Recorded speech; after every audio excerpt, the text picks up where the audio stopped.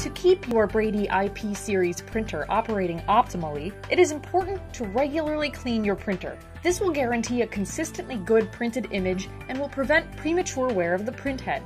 To clean your printer, you will need compressed air and cotton or foam swabs soaked with isopropyl alcohol. You can also buy packages of pre soaked swabs from Brady's website.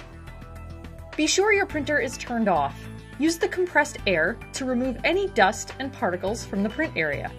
To clean the print head and media feed rollers, open the cover, push the green print module release button. Lower the control panel.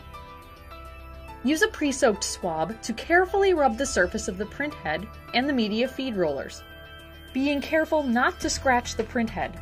Also, be sure to swab the media guides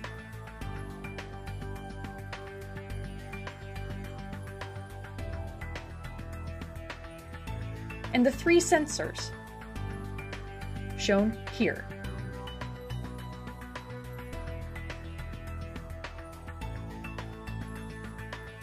Allow the printhead and media feed rollers to dry for about 2 to 3 minutes before restarting your printer and reloading your materials.